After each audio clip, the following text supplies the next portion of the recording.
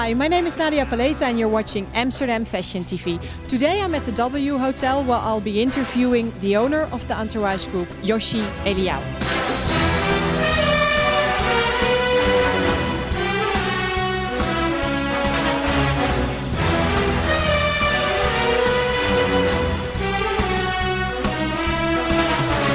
Yossi, at age 23 you started your own espresso bar in Tel Aviv.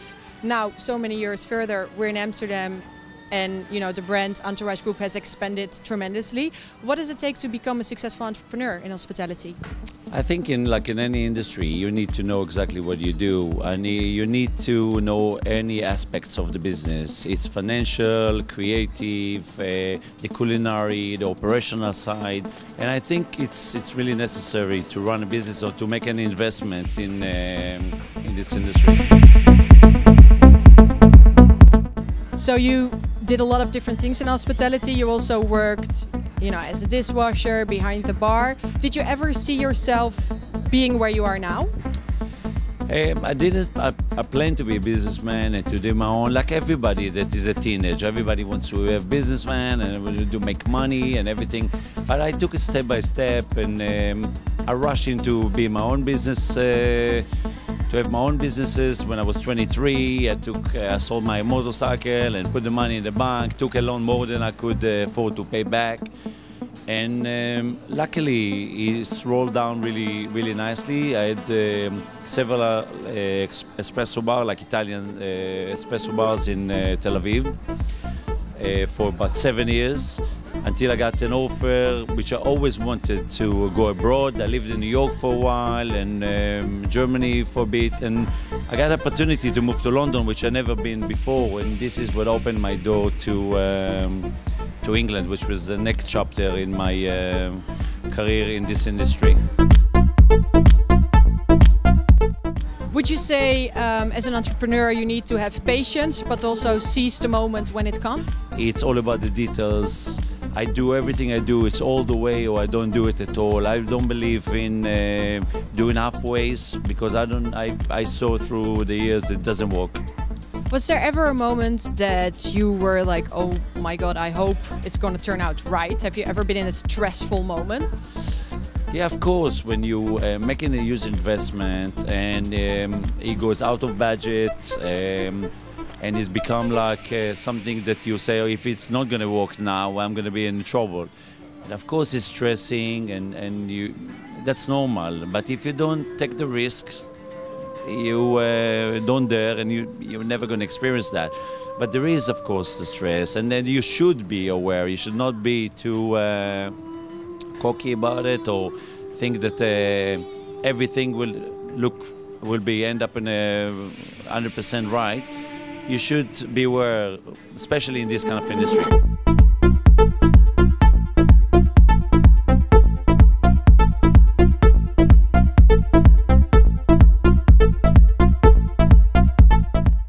Um, from Tel Aviv, you went to London. What did you do in London?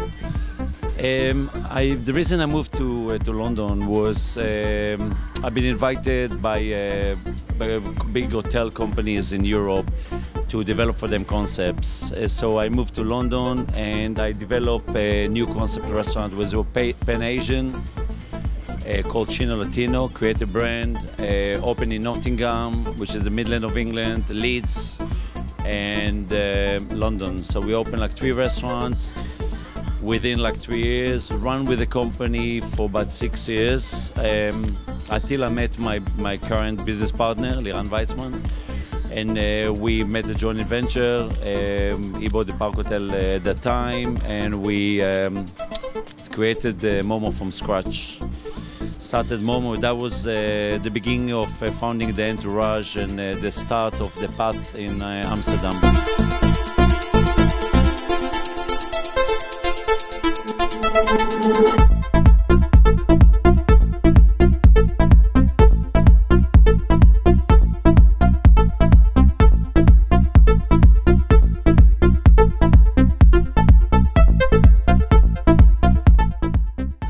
Momo was the beginning of the Entourage group. Why did you pick Amsterdam? Um, I think Amsterdam picked me. My business partner invited me, bought the, the property. I came. I've been in Amsterdam before that. Um, I saw the potential about the location. I fell in love with the site. I, I love the city, and I, I thought there's a gap in the market that um, is ready now to go with what I can bring in. And I really believed in that. And they all started with Momo, uh, 2008 and roll with uh, the rest of the brands. Uh, now we're, we're, celebrating 10 years anniversary for Momo, which is uh, went really really fast. But very happy to be in Amsterdam. I love the city. I feel uh, it's part of my life and it's my home as well. Yeah, part of your life is in Amsterdam now. Um, so you work with Dutch people. What do you like about the Dutch and what do you like less? I love the Dutch. I think they straightforward people. They've got a lot of culture. They've got history. They've got style. I've got a lot of friends here. You know, I'm spending for the last 11 years in Amsterdam, and most of my customers, always, all my businesses is relying on uh, always the locals. I'm always building it for the locals. So I tailor-made everything we did here for the locals. So. Um, I'm proud to be in Amsterdam. I raised my daughter in Amsterdam as well, and uh, yeah, I love to be part of it. I'm thinking I'm lucky that I end up in Amsterdam. One of the things that are a risk in your business is that a place is trendy and then it's not anymore. What do you do? Uh, how do you deal with that? Yeah, I, I don't do trendy. I do things that have much more base than trendy. I try to do things that have good value for money, have quality, have uh, much more things that uh, the stronger roots are trendy. Trendy is come and goes, people moving to other places. I always try to keep our places relevant and much more content than just being trendy. So it's chic, it's high service, it's quality ingredients, it's good value for money. All these ingredients needs to be there to, to work out. Otherwise, it's last not too long. A lot of people might think that to do what you do, you need to be born rich, but you were not. What is the secret of, of just doing it in the beginning without money? Um, you you taking risk. You started with no money, and um, you you're taking a risk. I had a business partner, we had uh, banks, but we are taking we took risks. I mean, any investment that you do, you're taking risks.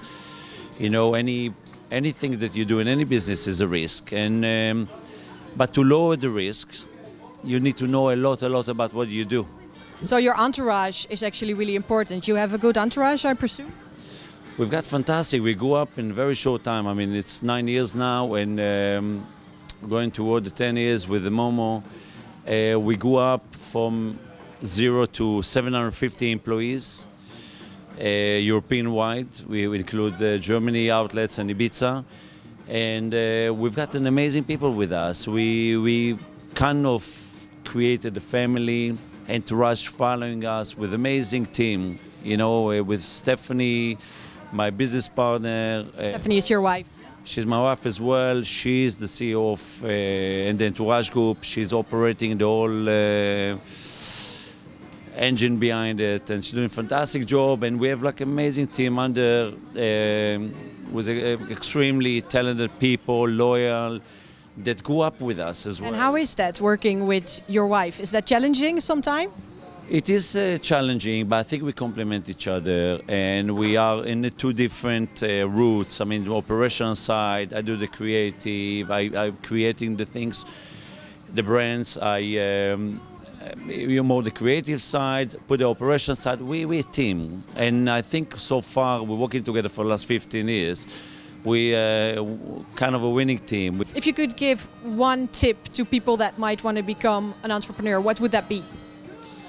I think they, they really needs to either have a very strong team that people knows what they're doing, uh, but firstly I would recommend them to know exactly what this business is again to learn it from the roots, from the base, because it's it is uh, it's built up of so many ingredients that needs to be right. The food needs to be right, the music needs to be right, design needs to be right, location needs to be right. And how you do it, it's with a lot of experience. You need to have the all knowledge. Of course, it's still risky after all, because great people, bigger than me, big chef, an entrepreneur that chose a location or made businesses and closed down. We know that, so it's it's nothing. It's never 100%, never going to be guaranteed. And what's next? We are we we had a lot of opening 2017. We launched uh, Hamburg, um, Ibiza, uh, Munich.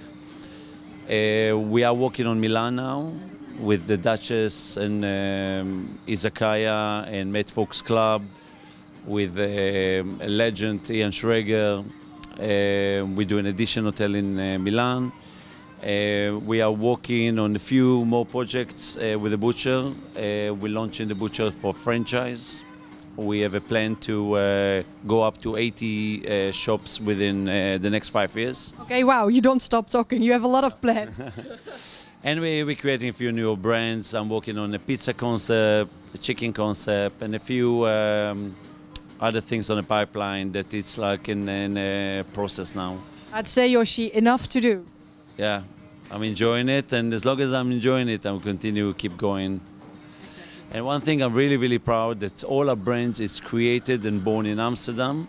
So we didn't bring any brand from outside. So now it's put Amsterdam on a culinary map. We have huge celebs and huge uh, international people that coming to Amsterdam, and um, they love what Entourage they do, and uh, they take in the news for outside, which is bringing a lot of people in. And Are there moments that, you know, you stand here and you look at all that's around you and you're like, fuck, we did it? I, I do it a lot. I'm, I'm standing every night in Met Folks if I'm there or, or in the butcher and I'm looking at it, I'm super proud because you're creating places, you're creating spaces and when you know it's it's working, when you see the place full of people, that's the life they given to the place. That's the people. And when you see people enjoying it, you know you did something right. You know you did something right and as long as the years going by and the place is still working and uh, have life in it, which have people, it's just showing that uh, you continue doing something right and um it's working. Cheers to that. Cheers. Thank you. You're welcome.